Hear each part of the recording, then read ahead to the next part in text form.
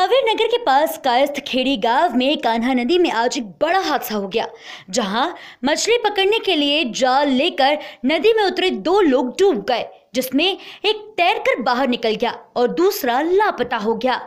कायस्थ खेड़ी गाँव में नदी किनारे पानी के तेज बहाव के चलते हादसे में 26 वर्षीय युवक विनोद पिता नानूराम लापता हो गया है, जहाँ थाना प्रभारी संतोष दूधी तहसीलदार तपेश पांडे सहित प्रशासनिक दल मौके पर पहुँचा और कार्रवाई जारी है। पुलिस के मुताबिक, दो लोग पानी के तेज बहाव के बावजूद नदी में मछली पकड़ने के लिए जाल लेकर उतरे, जहाँ दोनों अपने ही जाल में उलझ कर रह गए।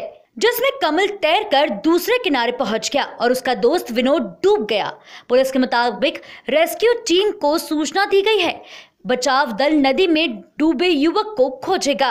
आपको बताना चाहेंगे कि करीब 16 घंटे हुई मूसलाधार बारिश के बाद लापरवाही के चलते इस तरह के हादसे सामने आ रहे हैं। क्या मामला है पूरा? ये थाना सांवेर का गायस्त्रगढ़ी गाँव है।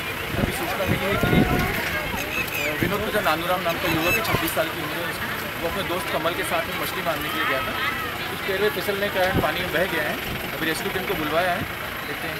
कब की घटना है? बताई जा रही है ये। एक घंटे पहले ही घटना है। अभी सूचना मिली है हमें। गाँव वालों ने अपने प्रयास कर लिए हैं। अभी रेस्क्यू टीम आ जाएगी। उसके बाद आपका परिचय sir. Sub inspector Manoj Kataria थाना सांवेर लगातार खबरों के लिए बेल आइकन दबाइए। हमारे साथ जुड़े रहने के लिए खबरगति न्यूज़ को सब्सक्राइब कीजिए।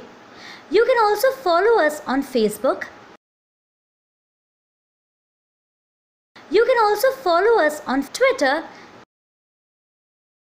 And you can also follow us on Instagram.